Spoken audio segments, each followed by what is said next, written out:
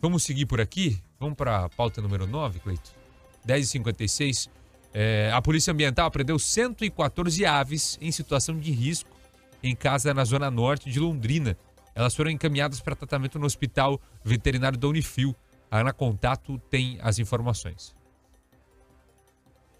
Dezenas de gaiolas apreendidas, todas em péssimo estado, sujas, cheias de fezes e até com larvas e formigas. Os comedouros também estavam contaminados e a água já estava podre. Por causa da condição insalubre, algumas aves chegaram a perder as patas por causa de infecções. Outras estão desnutridas.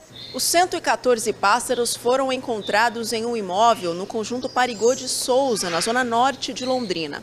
A Polícia Ambiental recebeu uma denúncia anônima e encontrou as aves abandonadas na casa. A equipe se deslocou até o endereço e, chegando lá, eles já visualizaram algumas gaiolas penduradas próximas ao portão da residência, mas não tinha ninguém naquele lugar.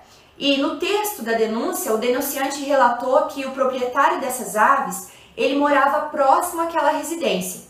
Em contato com o proprietário desses animais, ele acompanhou a equipe até essa residência e informou que essa residência era somente para manutenção dessas aves. O dono dos animais já tinha sido autuado há 30 anos pelo mesmo crime e não tinha autorização para criar as aves.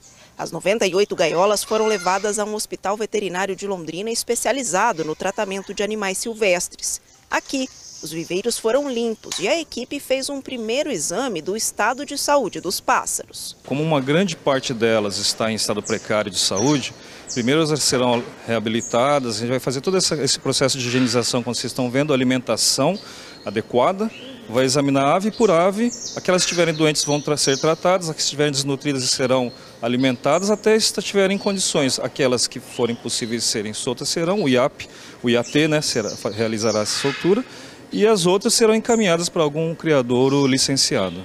O homem responsável pelos maus tratos assinou um termo circunstanciado e pode ser multado em quase 300 mil reais. Esse mesmo proprietário já havia sido autuado alguns anos atrás, então a sua licença de criador ela estava suspensa, essas aves estavam em maus tratos, então o auto de infração teve um valor aproximado de multa de R$ 290.500.